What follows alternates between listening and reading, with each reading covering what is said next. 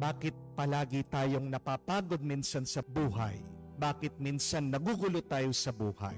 Because there are two sources of our stress.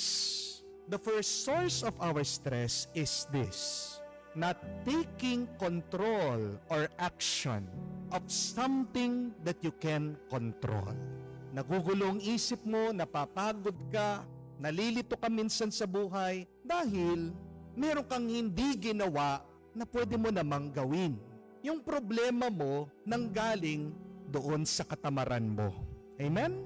Halimbawa, bakit meron mga bata na stress sa pag-aaral? Dahil ba mahirap ang pinag-aaralan? Hindi.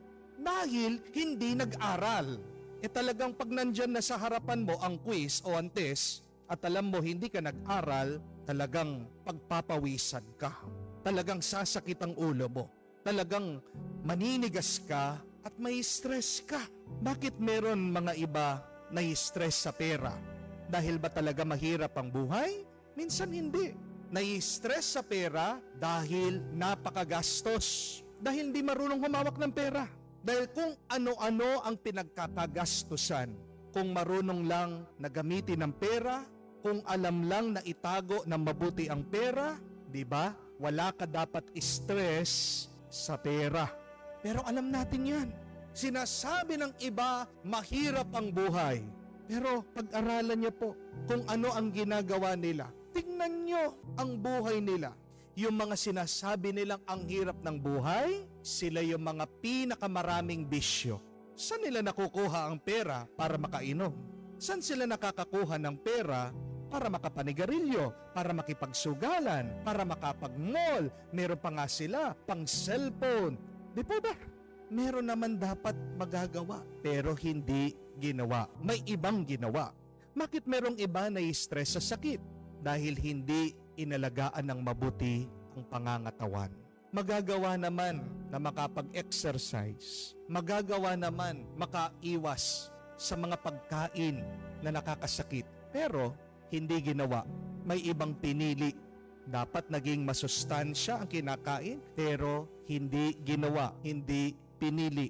Tandaan niyo po yan. Ang unang ugat ng ating stress. Merong kang hindi ginawa na dapat magagawa mo naman noong umpisa pa lang. But the second source of our stress is this. That you're trying to control something that you cannot control. Pilit mong merong gustong gawin pero sa totoo, wala kang magagawa.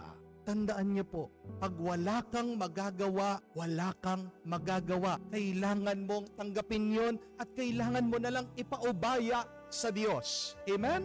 Halimbawa, marami din sa atin na i-stress sa trabaho dahil napakarami ng ginagawa. Wala kang magagawa. Kailangan mo lang tanggapin na talagang marami ang trabaho. Amen? At kung magre-reklamo ka pa, lalong bibigat ang trabaho mo. Amen? Marami sa atin na stress sa ibang tao. Sa mga katrabaho, sa boss, sa mga kasama natin sa bahay, sa ating mga kamag-anak, dahil iba ang ugali, dahil masama daw ang ugali, may magagawa ka ba? Kahit na pagsabihan mo, kahit na sigawan mo, kahit na awayin mo, ano mangyayari? E di lalala ang sitwasyon nyo. Amen? wala kang magagawa sa ugali ng ibang tao. Marami sa inyo, alam ko, nai-stress dahil daw chinichismis. May sinasabing masama tungkol sa kanila. May magagawa ka ba sa isip ng tao? Wala. Tandaan niyo po, isip nila yon. Their opinion about you does not concern you. Amen? Wala kang pakialam sa kung ano ang tingin nila sa iyo, kung anong sinasabi nila tungkol sa iyo ang bigyan mo ng panahon at oras at lakas, yung sariling pag-iisip mo, yung iyong sariling pagsasalita, yung iyong trabaho, bayaan mo sila. Pag palagi mo silang iniisip, lalo ka may stress. Amen? At alam ko, marami din na i-stress sa inyo sa kanilang mga asawa. Bakit ganyan na daw ang kanilang mga asawa? Nag-iba na ang kanilang mga asawa hindi tumitigil sa bisyo ang kanilang mga asawa, hindi tumitigil sa pambababae. Yung mga babae, pinagpalit yung mga lalaki kahit na nagdasal ka na, kahit na nakiusap ka na, kung isang tao nagdesisyon, pinili ang masama, may magagawa ka ba doon? Wala. Bayaan mo siya. Kasi darating din ang araw, siya din ang kakain sa bunga ng masamang pinili niya. May consequences din yung kanyang ginagawa. Huwag kang mag-alala. Pagpatuloy mo na pagdasal mo ang taong iyan, pagpatuloy mo ang pagiging mabuti mo, manatili kang tapat. Amen? Do not stress yourself because you cannot do nothing. Yan tanong, pag nandito tayo sa sitwasyon na ito, hindi natin maiaalis ang stress. Ano magagawa natin para maging mas payapa tayo, para maging mas magaan ang ating buhay? Ito po yung tandaan niyo na may mas mataas kaysa sa atin. Ito yung pinapaalala ng ating pagbasa.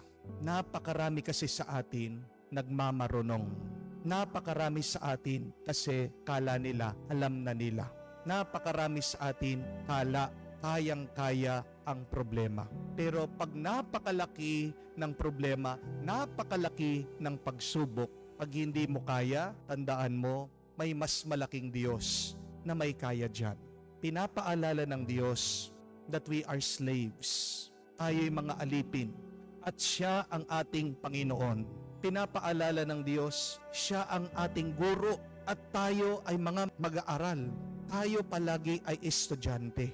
Pag ang estudyante mag-aaral, kala mas marunong pa sa teacher, anong mangyayari? Magkakamali siya. Hindi natin alam ang lahat. Kaya napakahalaga na palaging makinig, sumunod sa ating guro, sa ating Panginoon, sa ating Diyos. When you are stressed, remember there is somebody that is more powerful than you. When you cannot control everything in your life, remember, God, our Lord, can control everything, can do everything. Ipaubaya mo sa Kanya yung hindi mo kaya at makinig ka palagi sa Diyos para ituro niya kung ano yung kailangan mong gawin araw-araw para pagdating ng hinaharap ng kinabukasan, hindi lumaki ang iyong problema. Yan ang susi para maging magaan ang ating buhay. Yan ang susi para tayo ay magkaroon ng kapayapaan. Makinig sa ating guro, ang Panginoon, at ipaubaya mo ang lahat sa makapangyarihan nating Panginoon.